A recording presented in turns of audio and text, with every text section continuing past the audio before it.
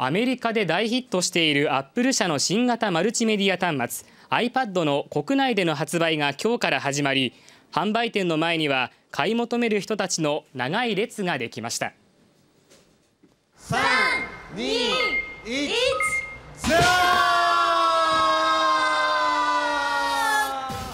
原宿のソフトバンク表参道店では孫正義社長やモデルの藤井里奈さんが駆けつけ午前8時からの発売に合わせてセレモニーが行われました。iPad は画面に触れて電子書籍やメール音楽などを楽しめる携帯端末です。表参道店では当日販売分がわずかに用意されたこともあり発売の2日前のおとといから徹夜組が出るなどおよそ300人が長い列を作りました。この日逃しちゃうといつ手に入るか分かんなくなっちゃうけどまあ一応今日来ればもあの手に入りそうだったので来ました。った感想はどうですか？いやでも結構重いかなっていう感じですけども。でもいいですね。ちょうどいいサイズです。ね。もう今日は一日中触り倒そうかなと思ってます。iPad 向けにはすでに多くの企業が専用アプリケーションを開発しています。突版印刷は国内最大級の電子チラシサイト主婦のチラシコンテンツを無料で閲覧できるサービスを始めました大画面やタッチパネルでの操作など iPad ならではの特徴を生かしたものとなっています。まあ、こういったところにあの我々のアイコンが主婦というアイコンが出てきます。でこれをタッチしていただきますとこういう画面が立ち上がりましてでちょっと例えばチラシを見ていただきますがこんなふうにですね簡単にチラシが出てきます。これ横にしますとこういう横位置で出てきてですねこう簡単に拡大して自由にチラシを見ていただけるとご家庭でリビングでですねゆったりとこう、まあ、見ていただくといったようなですねニーズに向いてるんじゃないかな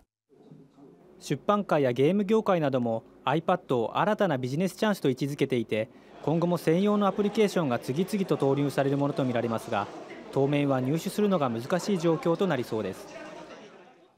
はいこれがその現物なんですがすごく面白いのがこれ一見縦ですよねでも横で見ようと思うとそれに合わせて画面が反応するんです。であのマピオンというこのアプリケーションを指でタッチしてみます。そうするとあのこれ千代田区の地図ちょっと見にくいんですがこれをあの指でやっぱりキーボードではなくてあのタッチパネルで直接あの指で操作するんで分かりやすいんですね。これ3本の指でちょっとこう上に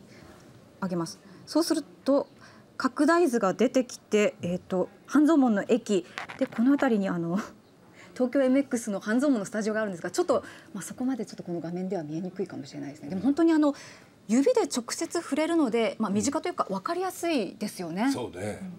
さっきあの電子チラシが出てましたけど、はい、これ今のチラシってあの新聞でもね、あのお母さんたちすごい人気なんですよね。それで新聞の場合はほらあの一日一回朝刊だけでしょ？はい、電子チラシになると